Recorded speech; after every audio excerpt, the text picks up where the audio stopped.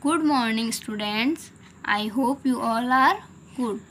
Today we are going to read our chapter 4 Just Imagine. You all have to read write read two times on the chapter. Just imagine means होता है जरा सोचो.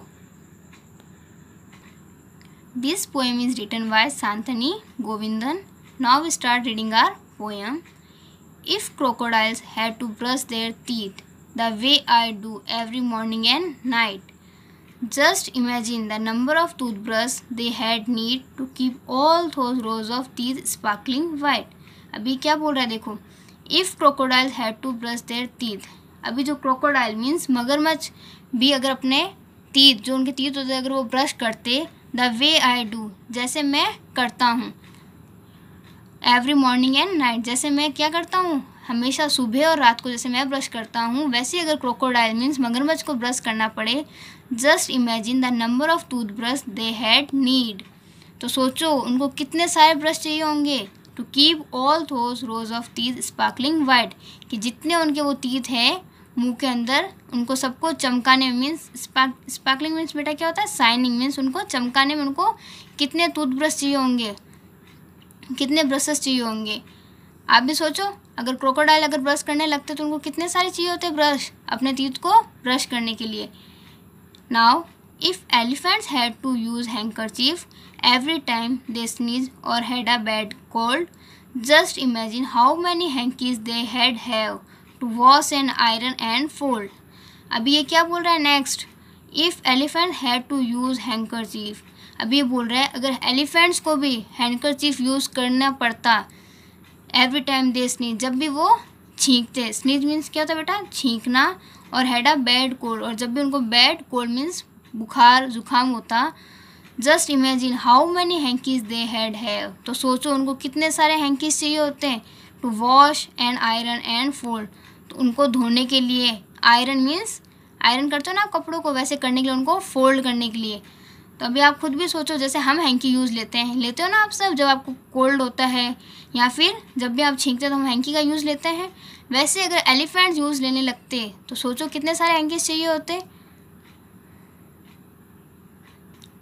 Now if giraffe had to wear ties around their necks like I do to every day, like I do to school every day. Just imagine how long those ties would be and how they had dangle, flutter and sway. अभी क्या बोल रहा है? If giraffes had to wear ties around their necks अगर giraffes को उनकी neck means गर्दन पे टाइज पहननी पड़ती like I do to school every day जैसे कि हम स्कूल आते हैं जब टाई पहनते हैं ना बेटा, अपनी गर्दन पे अगर वैसे ही जिराफ को पहननी पड़ती just imagine how long those ties would be तो सोचो वो कितनी लंबी टाई होती क्योंकि जिराफ लॉन्ग होते ना बेटा तो वैसे ही अगर उनको टाई चाहिए होती तो वो कितनी लंबी होती। And how they dangle flutter and sway और वो कैसे उसको लटकाते? फ्लटर मीन्स फड़फड़ाते एंड उसको हिलाते। तो आप खुद ही सोचो, अगर जिराफ को हम टाई पहनाएँगे तो वो कैसे लगेंगे? और वो उसको कैसे हैंडल करेंगे? Now next if centipedes had to wear boots boots with laces all fastened and tied up tie. Just imagine what a tangle of legs there had been if just one of those laces was not done up right. If centipedes had to wear boots with laces. Centipede क्या होता है बेटा एक insect होता है उसकी thin body होती है, उसके बहुत सारे क्या होते हैं बेटा लेग्स होते हैं एक इंसेक्ट होता है तो सोचो अगर वो इंसेक्ट बूट्स जैसे हम पहनते हैं ना शूज़ लेसेस वाले, अगर वो भी पहनते all fastened and tied up tied up tight और वो सब उसको क्या करते? बहुत ऐसे टाइट हम जैसे लेसेस बांधते हैं वैसे बांधते। Just imagine what a tangle of legs there had be तो सोचो, उनके लेग्स कैसे हो जाते? सारे ट्यूज मतलब उनके बेटा, जो उनके सेंटीपीड जो इंसेक्ट होता है, उनके लेग्स बहुत ही पास पास में होते हैं। तो अगर आप सोचो, अगर उनको हम ये पहनाएँगे शूज़ लेसेस वाले तो जब वो पहनेंगे तो कितना ट्यूज मतलब बहुत सारा मिक्सअप हो जाएगा। If just one of those laces was not done up right अगर उनको इतने सारे शूज़ पहनाते तो क्या हो जाते? कन्फ्यूज़ हो जाते ना? और अगर एक भी लेस इधर उधर हो जाती तो क्या होता? आप खुद सोचो। Now if children like me had wings like birds with which we could fly and soar up high just imagine how many childrens there had be zooming about in the sky now if children like me had wings like birds अभी क्या बोल रहा है child कि अगर मेरी जैसे मेरे जैसे बच्चों के अगर पंख होते, जैसे किसके होते हैं? बर्ड्स के। With which we could fly and soar up high जिसके साथ हम क्या हो सकते बेटा? उड़ सकते थे। और कहाँ तक? बहुत ही ऊपर तक स्काई के अंदर। Just imagine how many children there had be zooming about in the sky तो सोचो, आपको स्काई में कितने सारे बच्चे देखने को मिलते?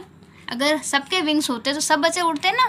तो सोचो, आपको स्काई में क्या दिखते? हैं सब बच्चे ही बच्चे दिखते उड़ते हुए। तो ये क्या? ये एक छोटी सी पोएम थी बेटा। उसमें एक चाइल्ड होता है, वो सोचता है। क्या सोचता है?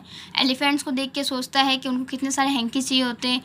क्रोकोडाइल को देख के सोचता है कि उनको ब्रश करने के लिए कितने सारे ब्रश चाहिए होते जिराफ को देख के सोचता है, अगर वो अगर पहनते टाई तो कैसे लगते और अगर सेंटीपीड अगर वो अगर ना बूट्स पहनता लेसेस वाले जैसे हम पहनते हैं तो कितना तंग हो जाता और कितना मैसअप हो जाता सारा मतलब।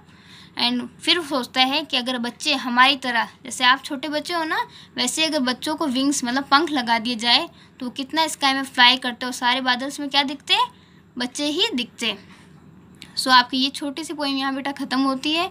आई होप आप सभी को समझ में आई होगी। You all have to read this poem two times at your home okay students bye for now take care